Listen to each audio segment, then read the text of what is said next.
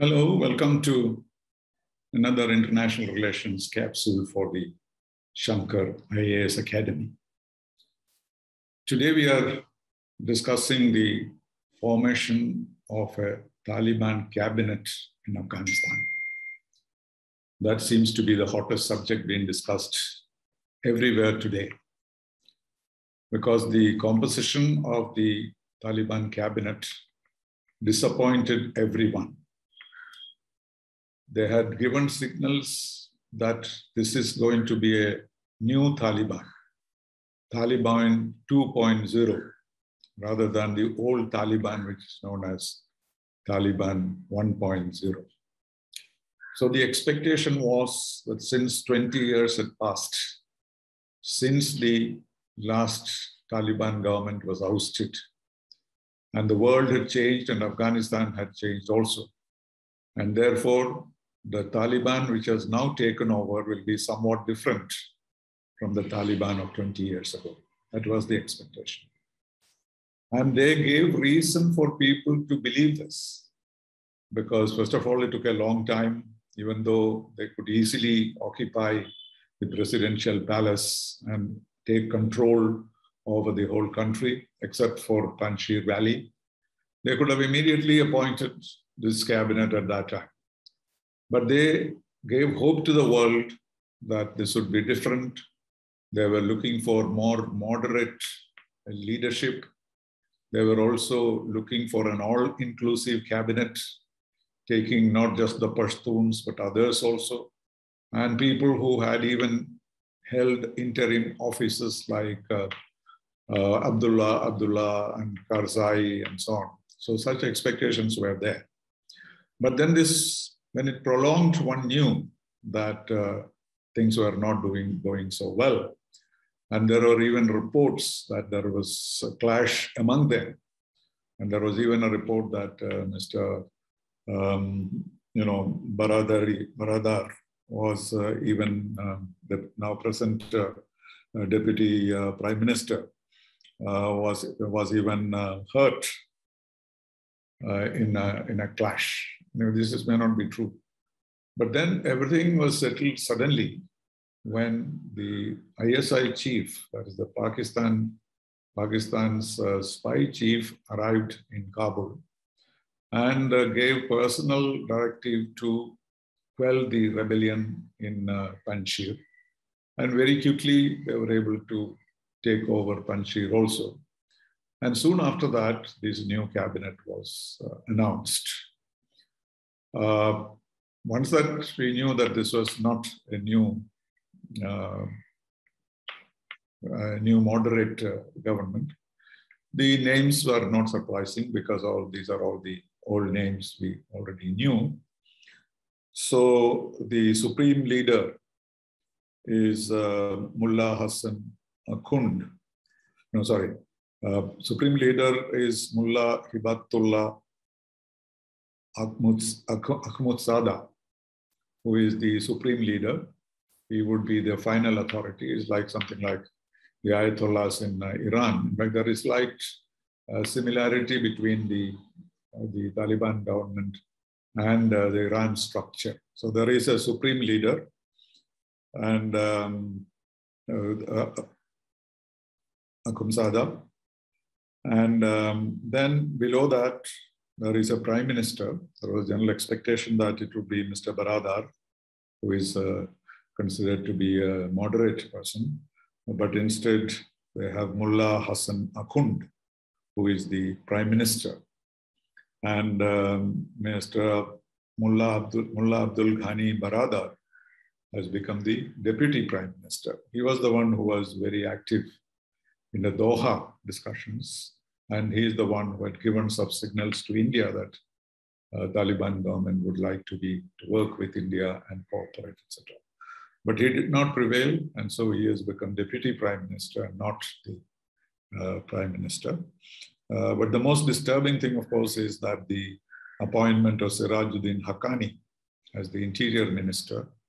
He, of course, is the leader of the what is called the Haqqani network, which is simply uh, Pakistani outfit supported by the ISI, that is Pakistani Inform Intelligence Service.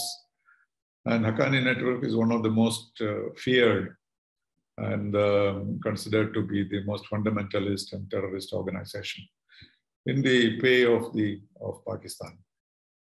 Then there is uh, Mullah Muhammad Yaqub, who is the defense minister, and the foreign minister is uh, Amir Khan Muttaqi, the foreign minister. All known figures, they were in different positions in the previous uh, uh, Taliban government. And therefore, what they are indicating is that it is continuity rather than change. And uh, the most disturbing part of this whole exercise is that it is completely Pakistan dominated. The whole cabinet seems to have been put together by the ISI uh, to make sure that the Taliban government is not different from the previous one. It will be a fundamentalist government. And um, some of the factors are very disturbing. There are 33 ministers, out of which 30 are Pashtuns, uh, the main uh, group, and uh, all others, other groups have been ignored. So, so 30 out of 33 Pashtuns means it is still a Pashtun government and not, not an Afghan government as yet. So the, it became very clear that uh, this government is going to be heavily uh, dependent on Pakistan. And this is the bad news that has uh, come, particularly for India, because any expectation that we would have a, a new dispensation uh, in Taliban with, him, with whom we could work has been belied. So, and this is the impression that others have. Of course, many others have different relationship with Pakistan. But as far as we are concerned, this is of a, uh, an important uh, development. Uh, so this Haqqani linkage is also with Al-Qaeda leadership and um, Pakistan ISI, and he was also involved in, uh, in several attacks against Indians, particularly the Indian embassy in uh, 2008. And uh, he has a, a, reward for those, in the, in the, US State Department has announced a reward of $10 million if um, somebody helps to catch him or kill him. So, and this is true of several of the cabinet ministers. some of them are declared UN terrorists, others are declared terrorists by others many people are being are, have a price on their heads who can be punished, caught, killed, etc. So it's a very, very dangerous situation which has developed. So the general impression is that uh, this is not going to change very much uh, because um, though they are saying that this is an interim government, since the composition is entirely of one character, then it cannot be much change cannot happen. And this is sad because they needed, we thought that they needed recognition from the international community. And more than that, humanitarian assistance, because Afghanistan is slipping into anarchy, uh, poverty, and even starvation. So the humanitarian effort of the international community is very much required and uh, in spite of that, they have taken this decision. That is, that's because they are fundamentalist, Islamist, profoundly anti-modern, and uh, committed to jihad. So they are establishing a, uh, an anti-modern, medieval kind of government is what uh, uh, they are uh, looking for. we had thought that there was they, they'll be pushed to uh, some kind of a, a moderate approach, but uh, there is no sign of that. Uh, but there are some countries who believe that they can do, they can work with them. China is one of them, Russia and Iran and Pakistan. So these are the countries which have already more or less recognized the government by keeping their embassies there. And even um, American US government as well as British, um, Boris Johnson said that he could, uh, uh, you know, do business with uh, this uh, Taliban government. Uh, so it is since it is not just an insurgency group, but has become a government now, they probably assume greater responsibility. And therefore, uh, the expectation is that even though they are a fundamentalist and anti-modern government, a Middle East, middle, medieval type, of government, which will be ruling the country within Sharia law. And there are several indications that uh, things will be like the old days because women are not being allowed freedom. They've announced that uh, uh, they can go to educational institutions provided they are segregated. The institutions themselves should be segregated. If that's not possible, at least at least uh, men and women should be segregated in the in the classrooms. But even more um, disturbing is that there are, there are no news coming from provinces, etc., where women has been women have been dealt with very cruelly, and uh, there have been deaths of women who defied the law. So uh, it's a different uh, situation than we had expected. And uh, there is a serious, serious possibility of a civil war, even though Taliban has put down the this insurrection in uh, Panjshir Valley. But there were some demonstrations on the, on the streets, demonstrations, and though it was immediately repressed, uh, but it, it took place for some time, it continued. Uh, because uh, nobody is interested in uh, Pakistan taking over Afghanistan. So the nationalistic tendencies were also there, but it did not continue. So the differences remain, and there is a very good uh, possibility of a civil war with the involvement of Al Qaeda and uh, uh, very many other, you know, terrorist groups which are there, ISIS, etc. So uh, the hope and expectation is that uh, these, since these are all diverse people, you know, when you have a revolution, uh, you are just operating on your own, causing as much destruction as possible. But if they have to be a functioning government, they need to have some kind of a common program. So whether the Haqqani network will accommodate the other ideas and let it be a composite government with a minimum program and minimum program is something which is not um, not sure but um, people like Baradar and others hopefully will try to bring about some kind of uh, um, a, a, proper agenda, a common agenda for the for the government. But the fact is that Taliban has maintained, the Pakistan has maintained Taliban, and um, therefore it is quite possible that these anti-Pakistan sentiments might be controlled and uh, it may not uh, come out again, even though it is true that uh, there were demonstrations and uh, Taliban had to shoot in the air in order to disperse the crowd.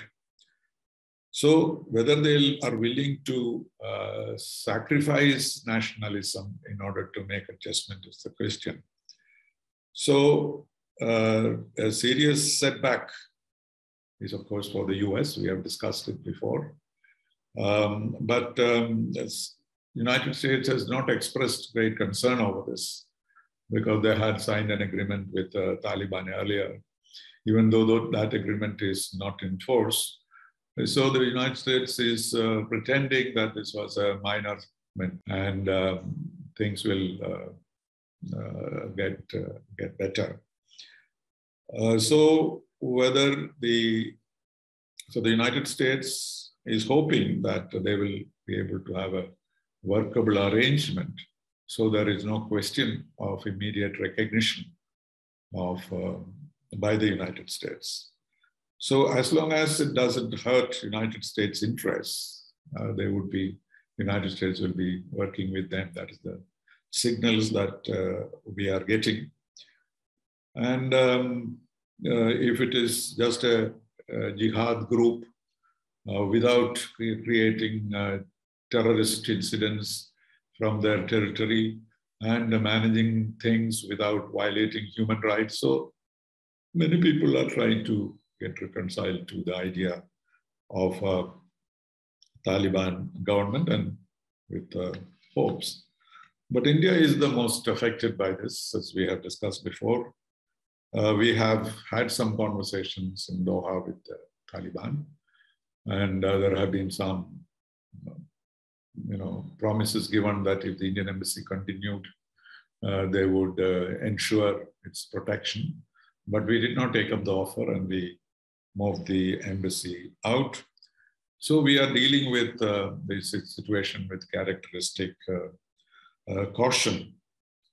so if we had started a premature dialogue with uh, uh, Taliban, that would have given a wrong signal to the previous Afghan government. That was one of the reasons why India did not uh, appear, did not want to appear to be defecting from the uh, Ghani government.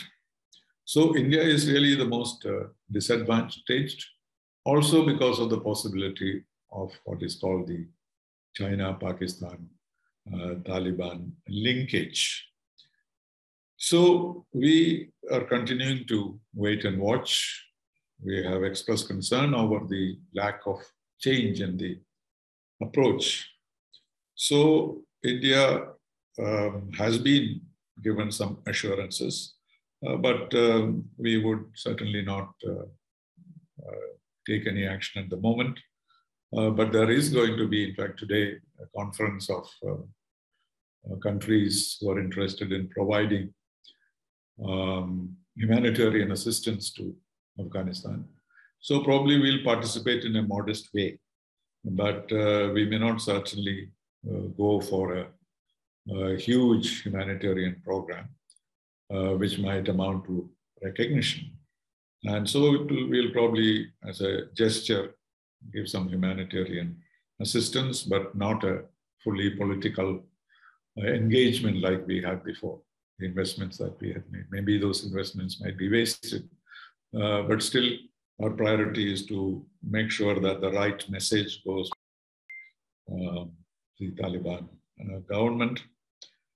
So we, we really do not need anything from them uh, as long as uh, they do not encourage terrorism in Jammu and Kashmir and they do not wage terrorist wars against any other country in the region.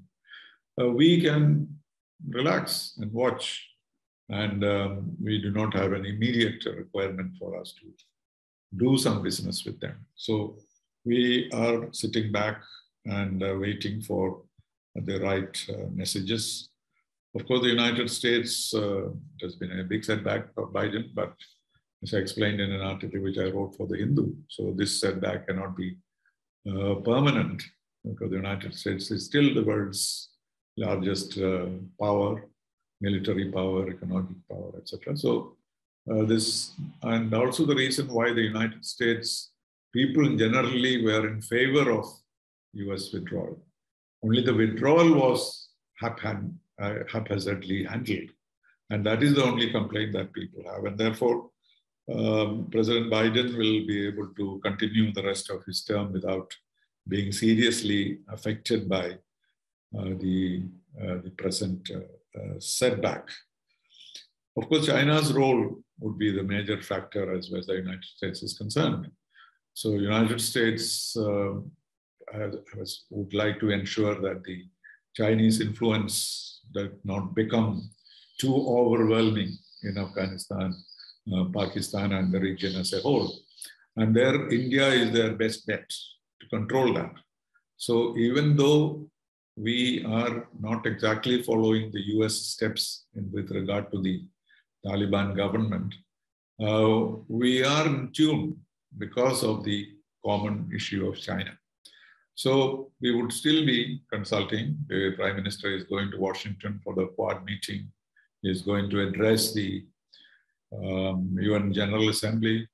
We already spoke to the BRICS leaders. We discussed BRICS, and the outcome of the BRICS meeting was not bad about Afghanistan because um, all the BRICS leaders, including China and Russia, made some statements you know, against uh, any terrorist activities, etc.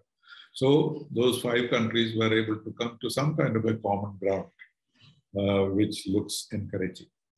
But China is keeping its uh, cards close to their chest and they are really trying to uh, look around and see how they can exploit the situation, uh, basically by uh, uh, working with Pakistan rather than directly. So after the uh, Washington visit, perhaps there will be greater clarity as far as the attitude of uh, many of the major countries um, is concerned. So uh, at the moment, we have no office in, um, in Kabul, and we are trying to quietly um, bring back all those people we want to bring back, including uh, Afghan friends who want to have visas and are willing to come back to India. So that process is going on quietly without much noise. And uh, we will wait and see what kind of uh, policies the Taliban government will uh, adopt. At the moment, there is no hope of it becoming a modern government. Uh, but uh, you cannot imagine the kind of pressures that will come on them uh, because of the 20 years as a new generation of Afghans whose aspirations are different, who will need liberty and freedom. So immediately after the takeover by Taliban. They may not express those things publicly, uh, but it must be, and also the women's issues are very, very significant. So if they have to continue uh, without any external interference and try and manage whatever system they want to do, they need to give some positive signals to their own people and also to the rest of the world. So the so far the signals are not helpful. And uh, the Pakistani domination is really the big question mark for us. In what kind of way will they try to use their influence in Afghanistan and Jammu and Kashmir? So otherwise, the signals are very clear. What they want is a, a traditional uh, Islamic Sharia government. And as long as they remain within their internal sphere and do not export revolution to other countries, the concern may be a little less. But it's too early to say what the consequences will be, what mode they will be in, because they are quite aggressive in, uh, in uh, uh, you know, putting out any kind of rebellion. That they are very particular. But in their words, at least, they are a little more uh, reasonable. And um, so that is all that uh, we can we can say at the moment. We hope that this will be a transient situation and things may improve. Uh, but otherwise, we'll have to find some way of coexistence with uh, uh, Pakistan and Afghanistan in a, in a new form. Thank you very much.